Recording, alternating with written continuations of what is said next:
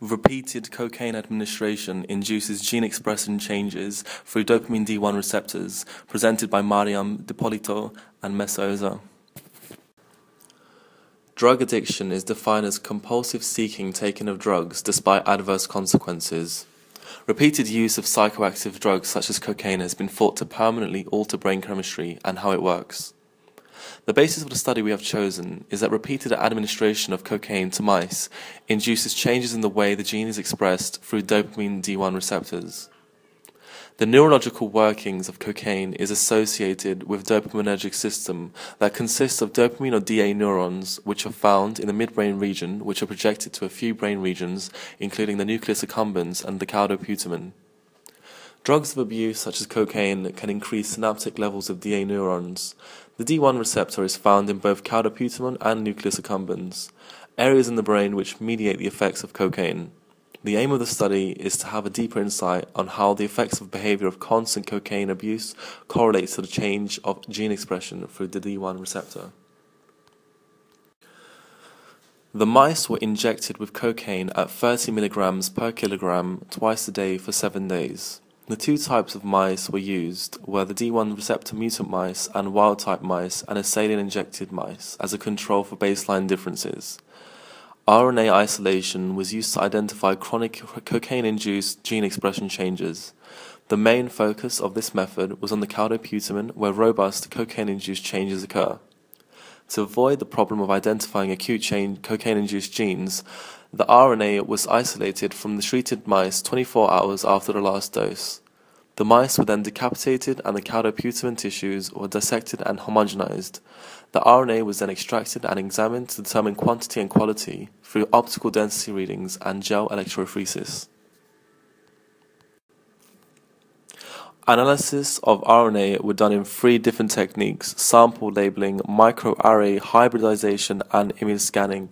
10 micrograms of total RNA from individual mice were used to synthesize cDNAs that were used as templates for cRNA. Software was then used to calculate raw expression value of each gene.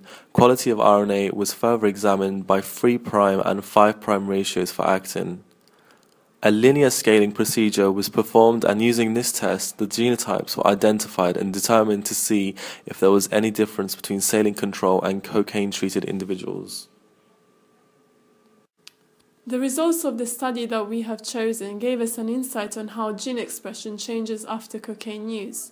It was found that the repeated cocaine injection in the mice induced constant changes in the behavior caused by neuronal plasticity and changes in gene expression in the dopamine 1 receptors, which were cocaine induced.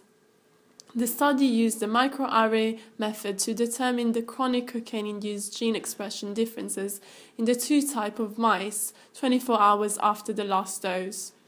It was found that 109 genes expressed a, different, a difference in cocaine-induced expression and no difference in the saline-induced expression between wild-type and dopamine-1 receptor mutant mice after a week of injections. The genes in the caudoputamen in the D1 receptors mutant mice were either upregulated or downregulated compared in the wild type mice due to the cocaine exposure. With saline treatment, 395 genes revealed a 1.2 fold difference expression in both wild type and D1 receptor mutation mice. The difference in some genes between D1 receptor mutant and wild type mice added up to the cocaine induced differences.